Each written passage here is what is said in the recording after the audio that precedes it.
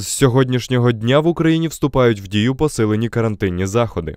Для жовтої зони бізнеси та громадські заклади зможуть працювати тільки за умови вакцинації однією дозою всього персоналу або за наявності негативного тесту. Те саме стосується і відвідувачів. Термін придатності жовтого сертифікату скорочений до 30 днів.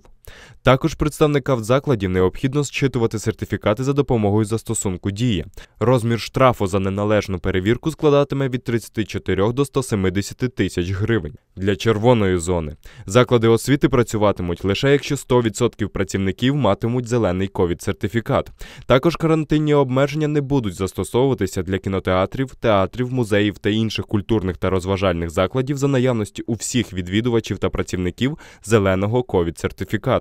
Також, якщо особа, що перетинає кордон України, має жовтий або зелений ковід-сертифікат, то вона може не проходити самоізоляцію.